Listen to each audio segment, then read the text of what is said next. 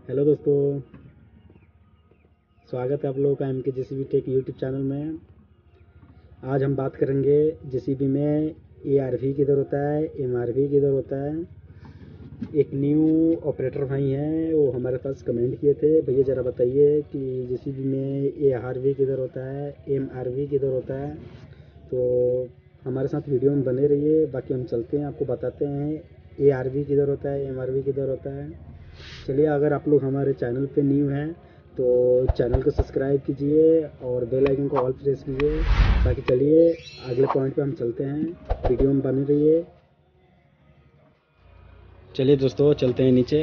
हम आप लोगों को दिखाते हैं कि हाँ जिस में ए आर वी किधर है। बने रहिए हमारे वीडियो में।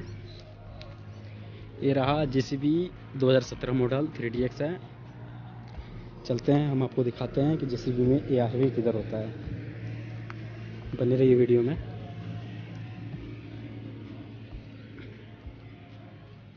चलते हैं नीचे और देखिए। ये रहा जेसीबी वाल ब्लॉक बकेट का मतलब बूम वाल ब्लॉक है।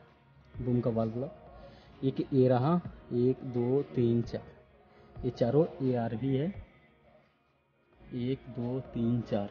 चार ए भी है और चार ऊपर है। चार नीचे है, चार ऊपर है। और आठ होता है इसमें ए आर भी स्टेबलाइजर का नहीं होता है। और चलते हैं।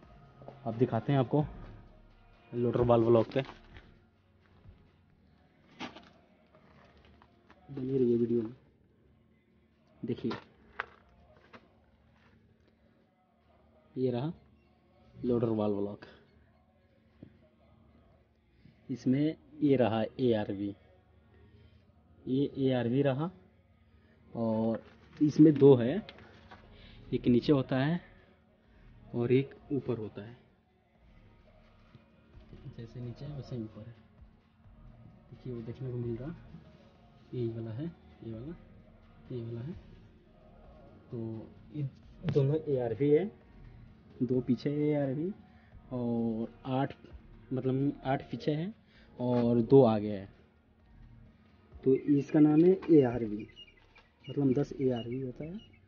और ये जो है, ये इसको एम आर वी बोलते हैं। इसे इसे एम आर वी बोलते हैं। यहाँ से आप प्रेशर बढ़ा सकते हैं। अगर बूम स्लो चल रही है मशीन वगैरह स्लो चल रही है प्रेशर में हाइड्रोलिक प्रेशर में तो यहाँ से आप बढ़ा सकते हैं। यहाँ से बढ़ा भी सकते हैं स्लो भी कर सकते हैं।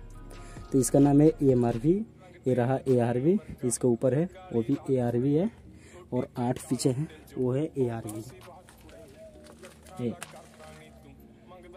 अब आप लोगों को मुझे मुझे आस है कि हाँ आप लोगों को बेहतर से समझ में आ भी गया होगा। तो अगर वीडियो अच्छी लग, वो वीडियो को लाइक कीजिएगा और चैनल को सब्सक्राइब कीजिएगा।